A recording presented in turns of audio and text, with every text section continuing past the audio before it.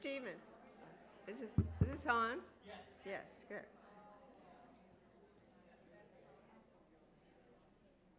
It's my pleasure to welcome you this morning to the Schemel Forum's second annual University for a Day, featuring a sumptuous amount of food for thought, nourishment for the mind and heart. Together with your fellow students, uh, you will engage in a day of exercise, that is, exercise for the mind. Healthy, possibly exhausting, but guaranteed to be, guaranteed to be exhilarating. This year's University for a Day falls on Interdependence Day, a new commemorative occasion on the calendar, which I had the honor of co founding in 2003. Our launch of the day was at the American Philosophical Society in Philadelphia, which was founded by Benjamin Franklin in 1743. And our topic was From Independence to Interdependence on the Continuum. Although I did not compel today's distinguished lecture, lecturers to lace their words of wisdom with interdependence rhetoric, it would have been a foolish to try. I felt obliged to mention to them that it is Interdependence Day and that it might or might not have some relevance to their lectures. We'll see. Simply put, Interdependence Day was a post 9 11 creation designated as a time to reflect on the realities of interdependence and the civic implications of those realities. Maybe it is another way of saying what the Abrahamic religions have said all along that we should treat each other the way we like to be treated ourselves, that we should attempt to understand and respect the differences among people this is not a magic bullet capable of swiping out all kinds of hatreds and grudges, but it is a mindset that has been both pragmatic and moral, has both pragmatic and moral credence in our increasingly interdependent world. It's worth noting that our opportunities to cross borders and connect with the world today go far beyond what could have ever been imagined, and that can be both good and bad news. It is easier to do violence across borders, by means of suicide bombers, weapons of mass destruction, or box cutters. At the same time, we have unprecedented powers of healing and peacemaking and international collaboration, and as important, just talking to each other because of the revolutionary advances in information and communications technologies. The magnitude of those advances is indescribable. It just about changes our world. Indeed, it makes it more important than ever to understand ourselves and others, which is why the Schemel Forum resonates as a 21st century project. With this second University for a Day, we hope that we are embedded, embedding the Schemel habit into your lives by offering you the opportunity to savor the joys of learning together with scholars of distinction, co-learners who are as eager as you are to engage in this wondrous, wondrous realm of ideas. We'll start the program with one of the University of Scranton's most adept and engaging humanists. Who else do we know who can plunge into Homer's Odyssey and James Joyce's Ulysses and then move on to Toni Morrison's A Mercy without a blink? Who can teach freshmen and Schemelites with the same eagerness, luminosity, and impact? Without wasting another moment of his time with you, I'm pleased to present Stephen Whittaker, Professor of English and Theater the University of Scranton. His topic, Toni Morrison, A Mercy. Toni Morrison's A Mercy, a paradigm and a cautionary tale of interdependence in the New World. Stephen.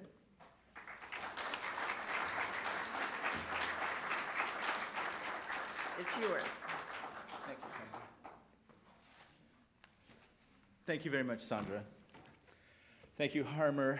Thank you, Hal, thank you, all of the people who make the Schemel Forum happen.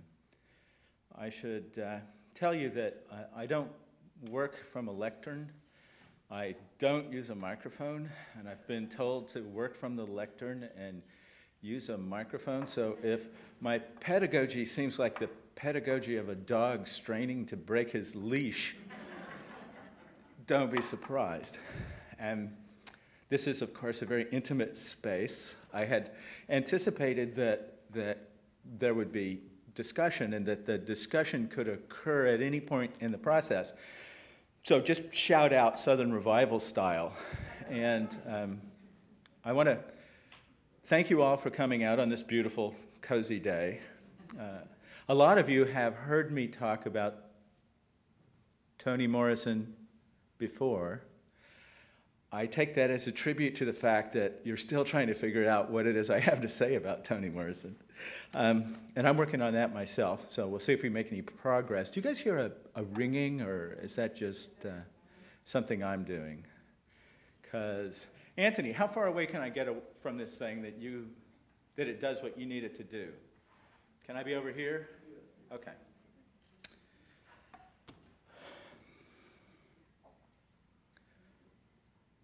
Toni Morrison is our living literature Nobelist. This is her ninth book. I'm going to assume that some of you haven't read it or haven't finished reading it. Harmer said to me before we came in here that when we read Ulysses, Joyce's Ulysses together a year or so ago, the, one of the most valuable things I said was that you don't read Ulysses, you reread Ulysses. And uh, several people have said to me about a mercy, something which I experienced myself, which is when you first start reading it, you're, you're sure of very little except that you've been thrown right into the deep end. And I think it is another book that is a reread book. So, I will do a lot of plot explication probably in the next hour. And for those of you who know the book very well, I apologize. And for those of you who are afraid of spoilers, well, I'm going to spoil it. So there you go. But that, that might make then the lecture count as a first read and your first read count as a reread, maybe.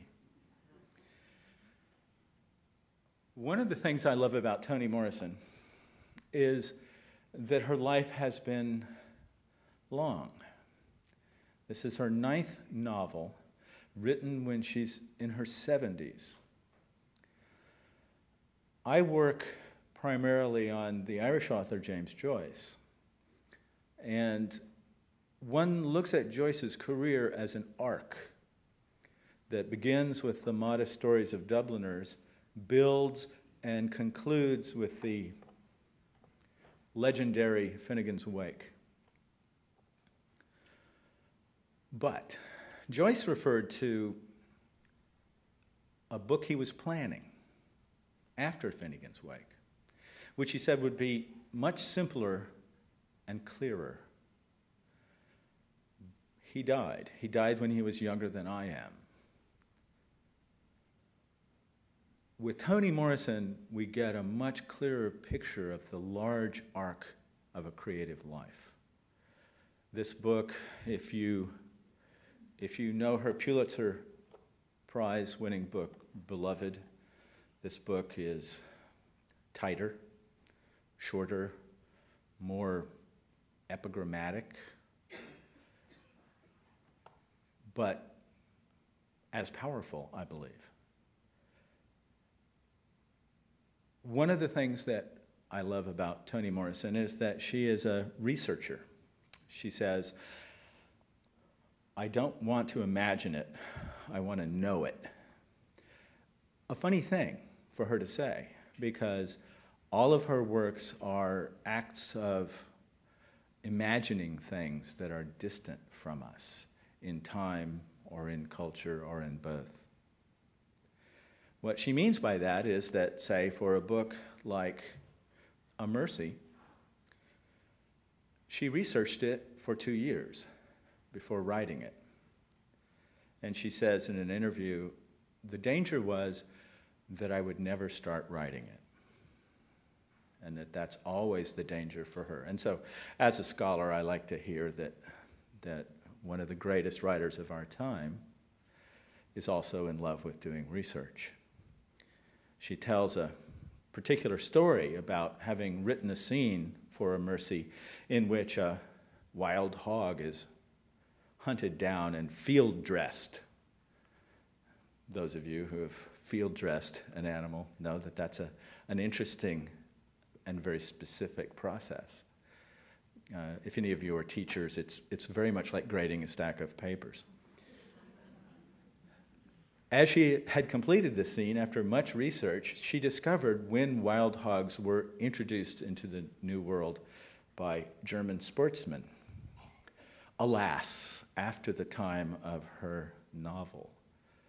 Uh, and so, of course, that scene is changed in dramatic ways. For example, the star animal uh, had to be shifted, and then the technique had to be re understood.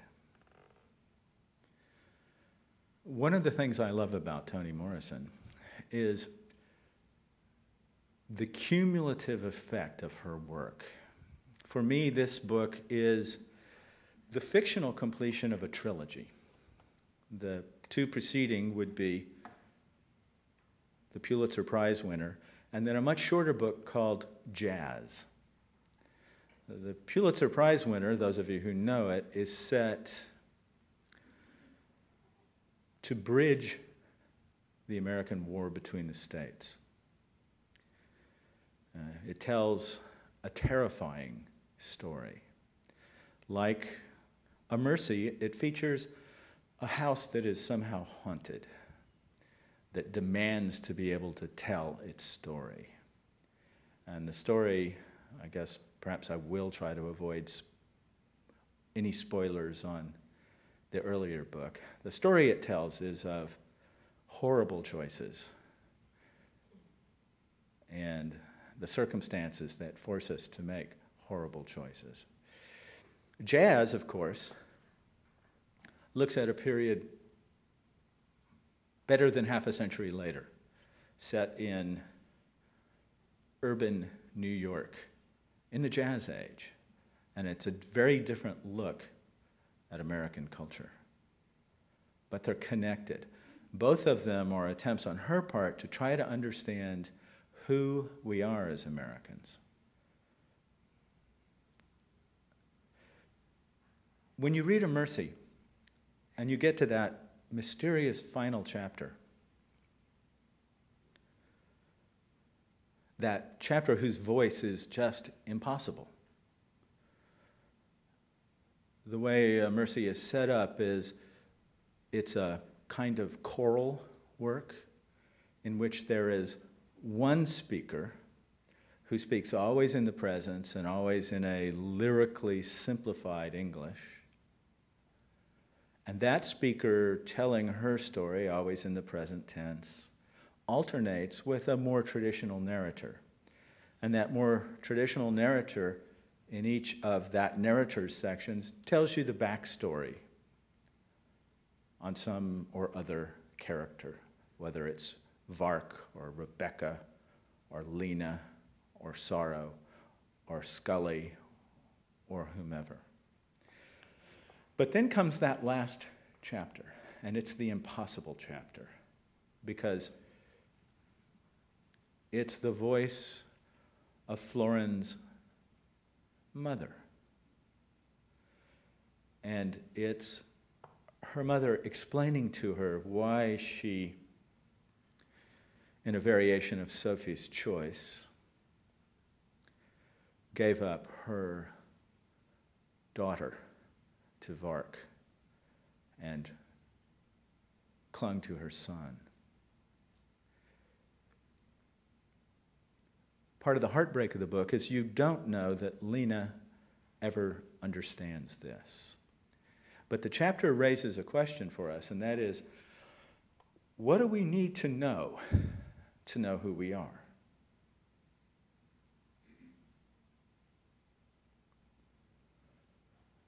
One of the things I love about Toni Morrison is that she's also a scholar, she's also a theoretician. She's written a book called Playing in the Dark Whiteness and the Literary Imagination.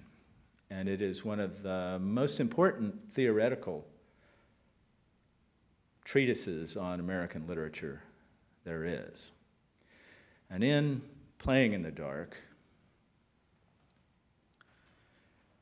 she talks about what she calls the Africanist presence in American culture and in American literature.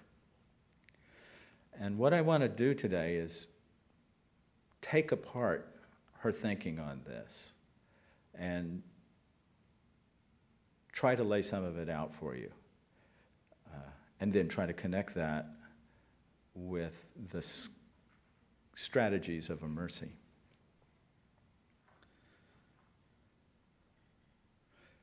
What she does in Playing in the Dark is look at a fellow female American author, Willa Cather, uh, and take one of her books apart.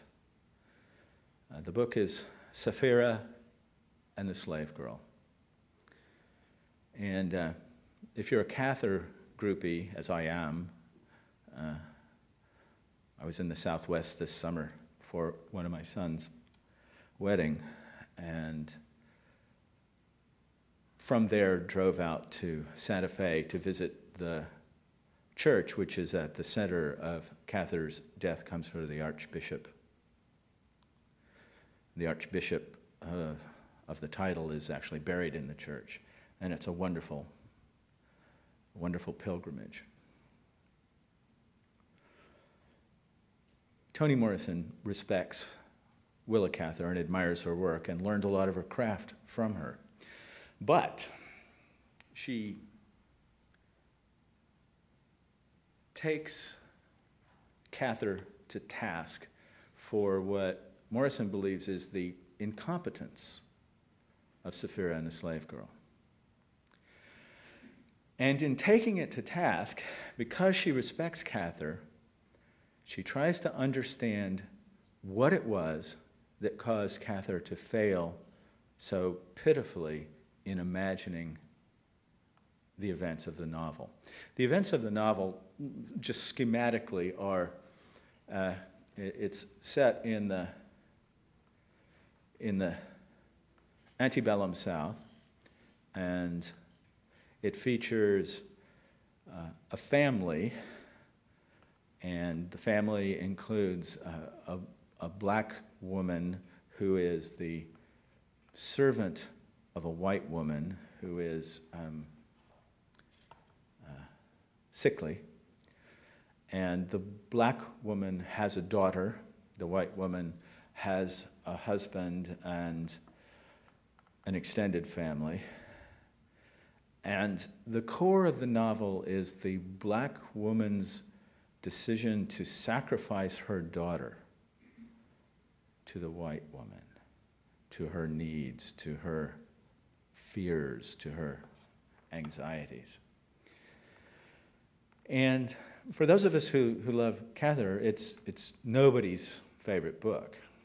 Uh, but I guess most of us never quite were able to articulate why.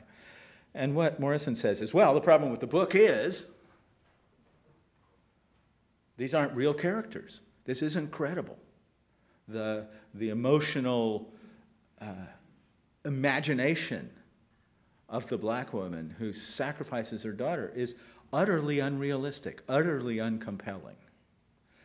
And Morrison then says, I didn't really see this when I read the book as a scholar. I, I, I came to understand it when I tried to read the book as a maker of novels.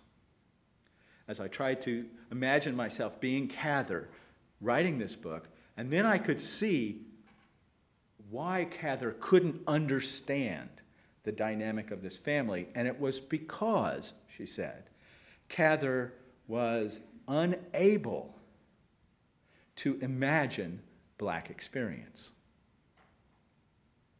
This is her, this is Morrison's beginning point in thinking about how the dominant white culture thinks about black culture. Or if I can put that somewhat differently, how the uses to which the dominant white culture puts its ideas about black culture. Now, what she then does in, in Playing in the Dark is a, a perspectival shift. Uh, she, she does something very much like what happens to you when you look at an Escher drawing, where the stairs appear to be going up, but then suddenly are clearly going down. She wants us to see how the dominant white culture's general ignoring of black culture is not just a, an omission, but that act of ignoring is a central and defining feature of the white culture. Now, the reason I'm talking about this today is because we're talking about how it is that cultures interact with each other. And you might say that Morrison is attacking the sort of liberal ideas of, well, everybody is nice and everybody's nice together and we all love each other and, and you know, sure there was bad stuff, but we're all just going to get past that and, and go on with our lives. And Morrison seems to be suggesting that, that that's not enough for us to really know ourselves. This goes back to the question of the last chapter of A Mercy. What is, it, what is really necessary for us to understand our lives? So she starts looking for how the concept of blackness was essential to founding the concept of whiteness in American culture. At this point, I want to stop back a little bit. She says, pointedly, that racial distinctions and stereotypes are not unique to American culture. They are all over Europe, all over Africa, all over the world. Uh, one of the things I love about Toni Morrison is she always wants to tell the truth, but she's never interested in punishing anyone. Uh, it's a remarkable restraint, I think. Okay, let's look at this idea of racial stereotyping. Uh, the Greeks had slaves, but their slaves were, as often as not, other Greeks. You got a slave by conquering their town, and they became a source of free labor. The Iliad, the war between the Greeks and the Turks, the, uh, features the return of many Greeks with many Turkish slaves. Uh, a lot of Greek tragedy is an examination of the consequences of this. I'm thinking of the Oresteia and other things. But the Greeks did have notions of racial stereotypes. Um, one of the books I get to teach in the SJLA program is Plato's Phaedrus. This is a book from 2,400 years ago. In the Phaedrus, the Phaedrus is basically a discussion of how do you move people with words. And the assertion that Plato makes in Phaedrus is well, words act on the soul. And so you have to study how words work, and you have to study how the soul works. Further, he says, different people have different kinds of souls, different things that you can appeal to. Uh, Plato was not egalitarian in the sense that everybody is exactly the same. He would take the fact that some people are born with a taste for and a capacity for music and some people are born for a taste for and a capacity for sport as to be a difference in their souls, which is a kind of a neat idea. He says, though, generally, the soul works like this. And this is, this is a picture that Freud picks up exactly, but in his attempt to make it more scientific, he drops the imagery that Plato uses and instead puts in some, some Latin descriptors. What Plato says is, well, I could tell you what the soul is really like, but we haven't got time, so I'm going to give you a model of it. The soul is like a chariot driver in a chariot drawn by two horses. One horse is the horse of reason, of goodness, and the other horse is the horse of passion, of disorder.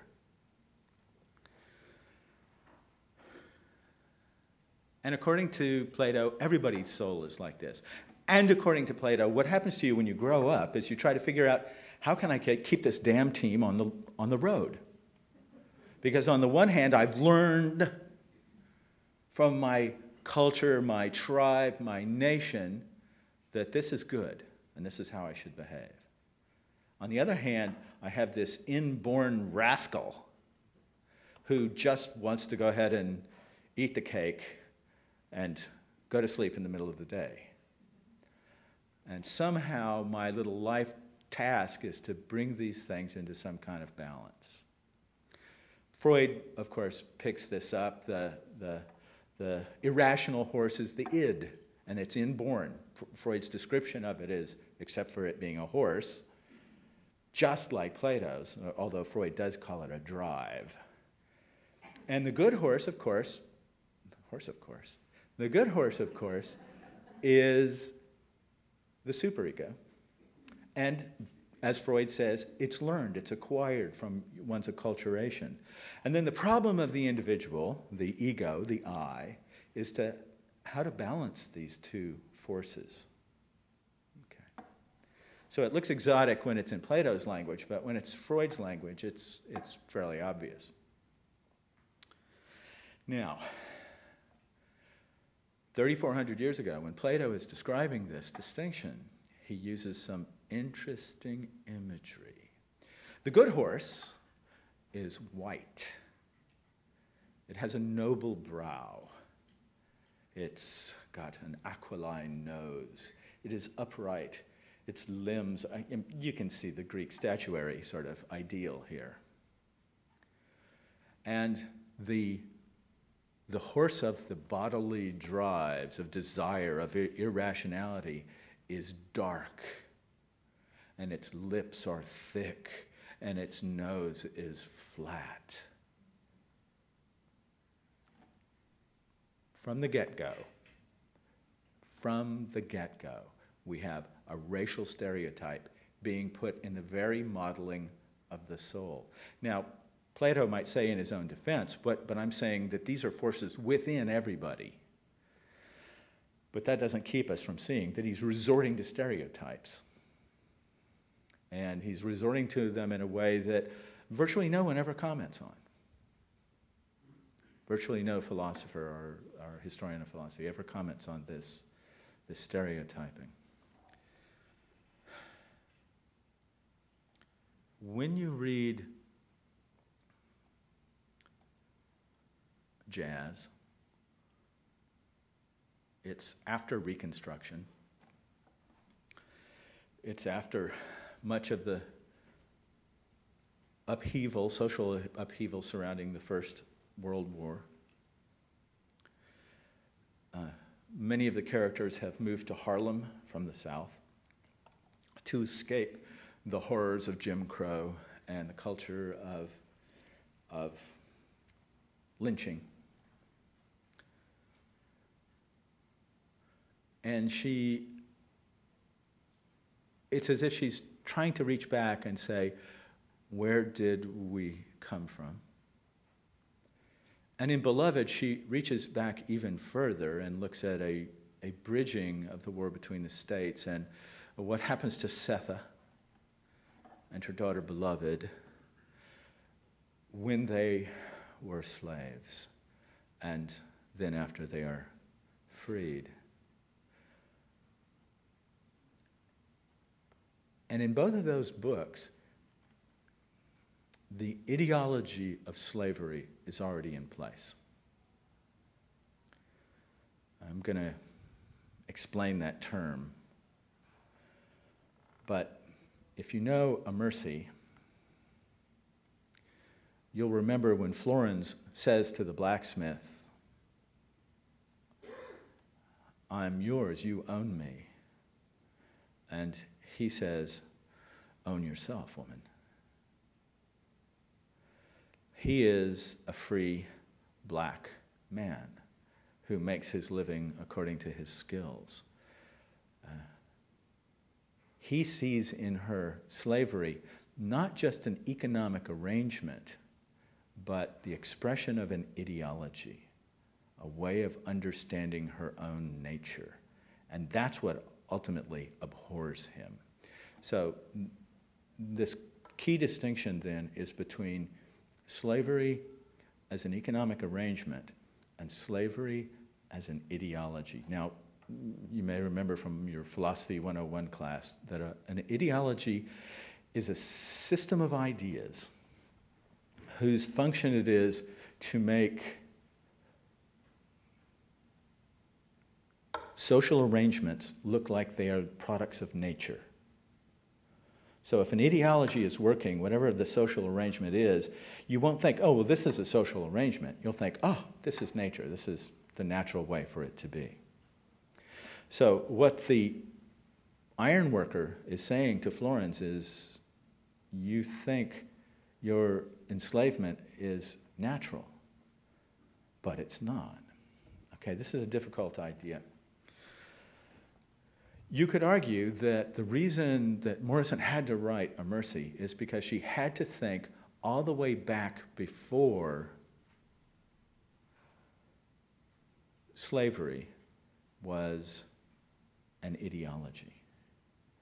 She wanted to think all the way back to the point at which it was a economic arrangement. So we follow the central male white character Vaark, and we see the tragedy of his succumbing to the temptations of free labor.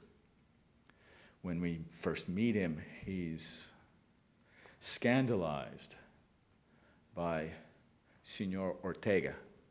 He's scandalized by the, what he takes to be the Catholic Weltanschauung, the Catholic worldview of, of self indulgence and license. And he sees that he sees Ortega as enjoying living so well off of other people's labor. And Vaark, although he is not much in the way of a churchgoer and specifically looked for a wife who was unchurched, he still has the basic Protestant vision of self dependence and self independence, so that when he looked at slavery, he was horrified by it. But then we see him admire Ortega's property and his quality of life and his house and his grounds and his gate.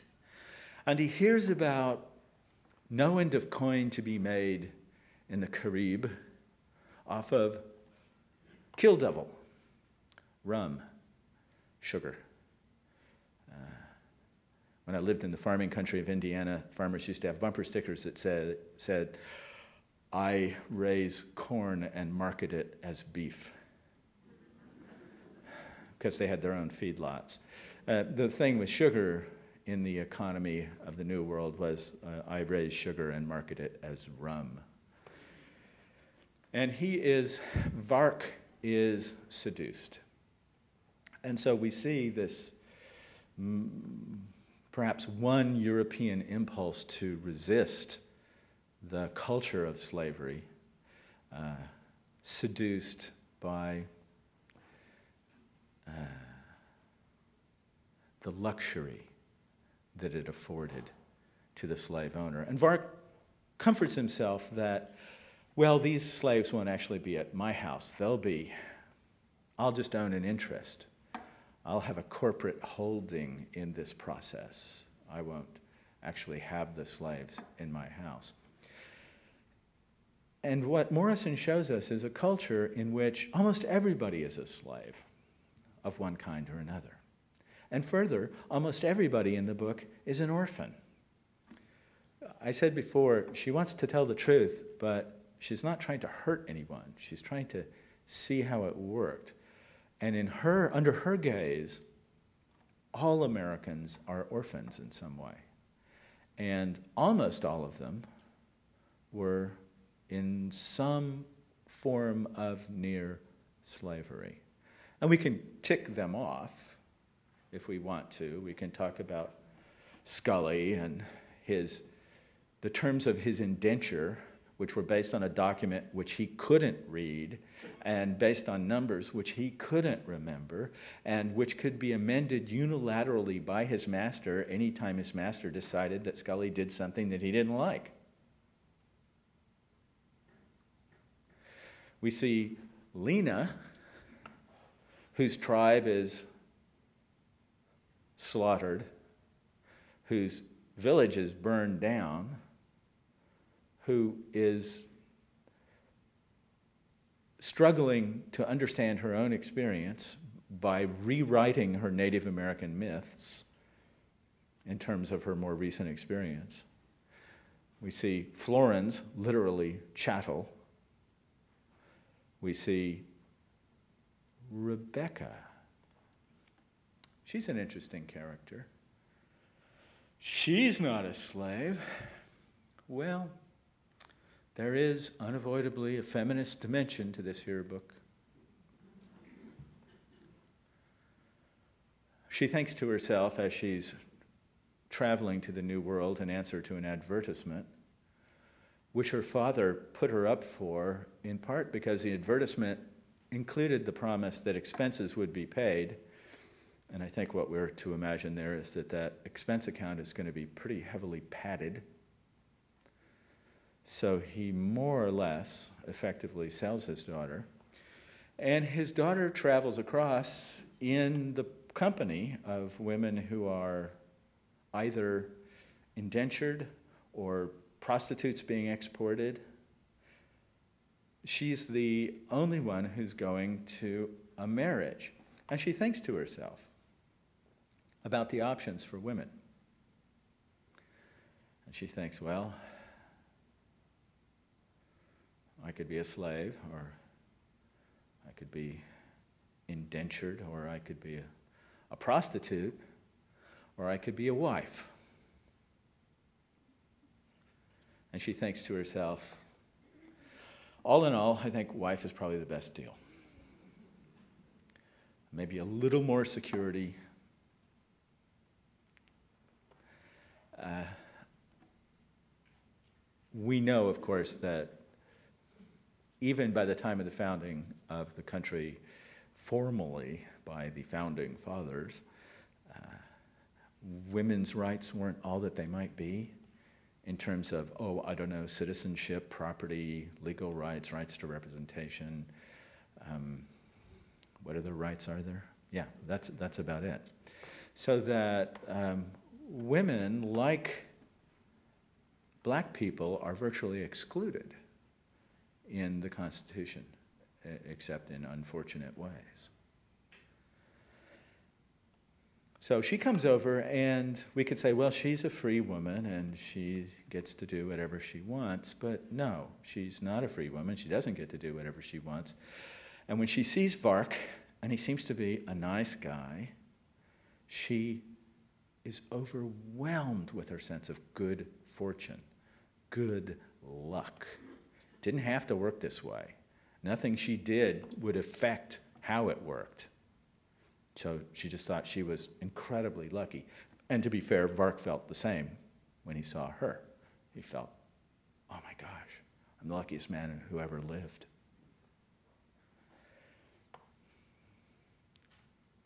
We see him, he's liter- literally an orphan.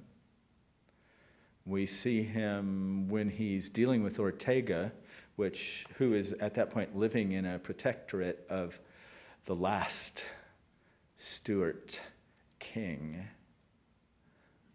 Um, and Vaark thinks, I can never take Ortega to court because he's a Catholic and I'm not.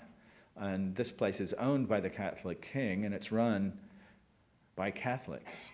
He says their, their priests walk openly. He says their places of worship menace the town square. So he realizes, in his limited way, that he has very few legal rights in this place. He even realizes that the only thing that would keep Ortega from cutting him down with his sword, were he to be wearing it, would be that it would affect his bond rating, Well, you know, the last guy who loaned him money, he killed. Okay. But he, Vaark is pretty sure that's the only restraint on Ortega's violence. So we have a world in which, arguably, everybody is enslaved. Now, interdependency. We have three fairly distinct cultures native, European, African. And we have this discovery that for the African culture, the surprise, the surprise of Florens's mother, was to find herself being called negrita, being reduced to her skin color. Because she thought of herself as a member of a particular family, of a member of a particular tribe, coming from a particular region, speaking a particular language. And that, that family, that tribe, that region, and that language were all distinct from their neighbors. Their cultures were distinct. And she finds herself washed into just the color of her skin. And this requires us then to look at the terms of servitude of the various groups that are in service here. Hers is the only group from the beginning that has no even nominal end date of service. Hers is the only group which, from the beginning, sees its offspring subject to a continuation of the dependence. It's clear when it's talked about a child being used to serve out the rest of an indenture bond that that's a shady deal and that nobody really would expect that to happen or approve of it. On the other hand, Florens is, of course, born into slavery because her mother is a slave. But even that doesn't yet make it a complete ideology. That's just a law. It's a social arrangement. It's an economic engine, free labor.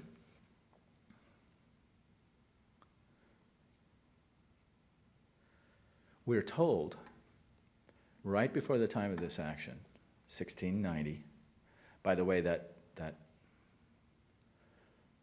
that Catholic king is, is, is not going to die, he's going to have a, a son, and that's going to cause the, the Protestant barons in England to dethrone him and drive him out. And he flee, flees to Ireland, which doesn't work out so well for Ireland. But Harmer warned me not to make this be about Dublin, so I'll. but just let me say, from the standpoint of Irish studies, this year, 1690, is, of course, when the hammer comes down on Ireland. It's, it's the point in which England begins the so-called penal laws. The king is, the Catholic king is driven out.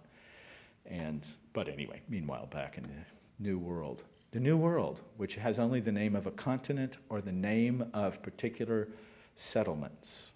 No one imagines it as a country, even in potentia. But two things have just happened when we meet Vaark going to Maryland to see Ortega.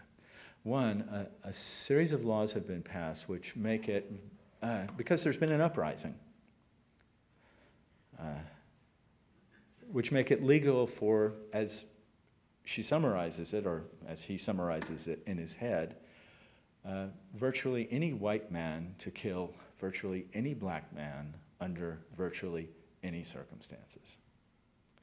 This was a law that was set up in response to a rebellion. The rebellion was not of black slaves alone, it was also of people in various systems of indenture. And they made common cause and they rebelled. Now, what's interesting, of course, is the law did not allow the liberal killing of people in indenture. That's one of those important little distinctions that has more long term effect than might be initially obvious.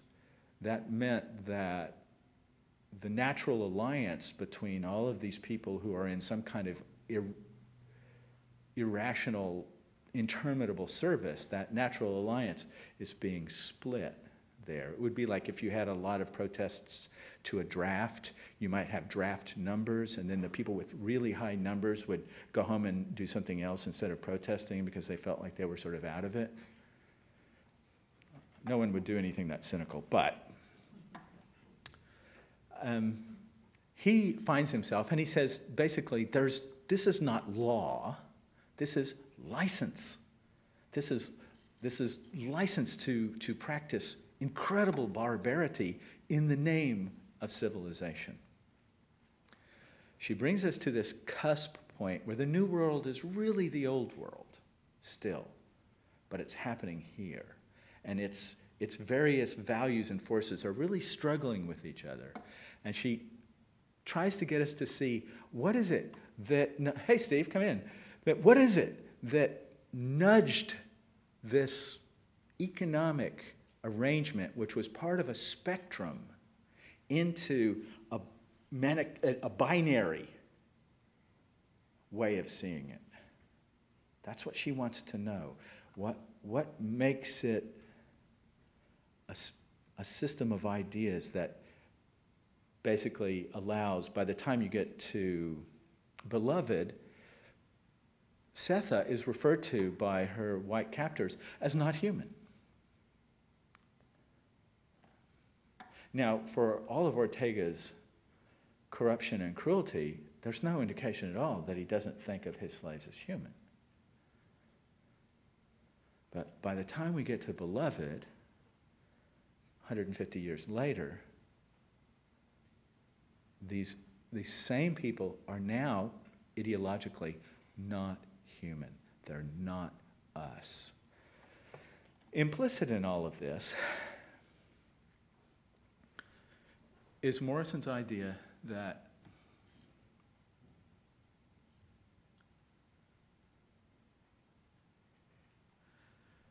when we talk about the foundation of the United States, we talk about the idea of individual liberty, Jeffersonian principles, Hume, Locke, the various philosophers who thought about it. Morrison is gently suggesting to us that it was much easier to think, I am not subject to the king. I am not subject to what my father was.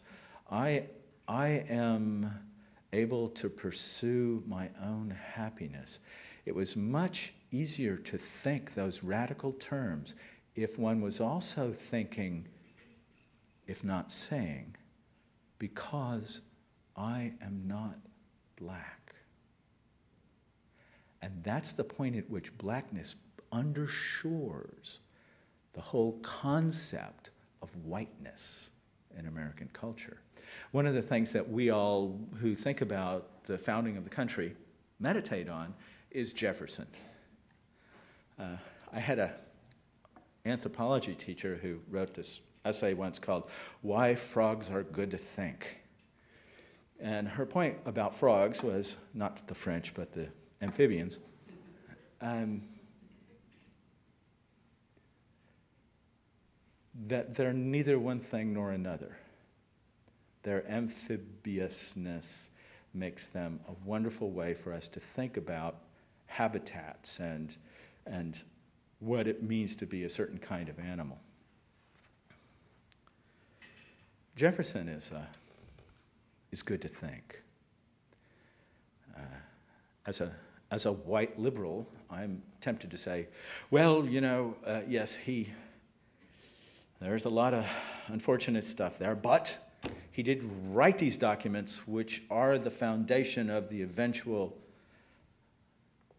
freedom of the slaves and the eventual equality in our society, even though he himself, uh, I want to put this as delicately as possible, owned his lover and owned their children as chattel property. Morrison would have us think about that a little more clearly and suggest that, well, sure, but he had a blind spot, but, but he was really noble. Uh, she would have us think that his nobility is predicated on that blind spot. It's predicated on the idea that, of course, I am not a woman, I am not a child, and I am not black.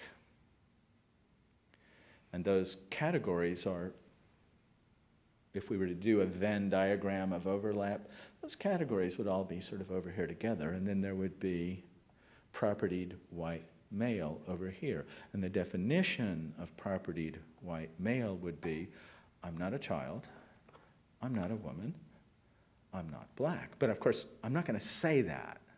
And I might not even think it. That's the great thing about ideology. And ideology is a great little machine. Because what an ideology does is allow people who are disadvantaged by the social arrangement to actually be in charge of supporting the social arrangement. And so we see that people of all classes, genders, orientations routinely conspire in maintaining the system of ideas, which contributes to their second class status. Now, the reason I'm talking about this aspect of this book today is because when we talk about interdependence, when we talk about nations and the interactions between nations and the cooperation between nations, uh, we have to ask the question of the last chapter of this book. What do we need to know to be free? What do we need as Americans to understand about ourselves to be able to interact with the rest of the world? And Morrison's lesson is that one of the things we need to know is that things which may seem almost non existent to us may be, in fact, the most important things. That we may have carefully learned not to think about certain aspects of ourselves. A pretty broad idea, I'll grant you.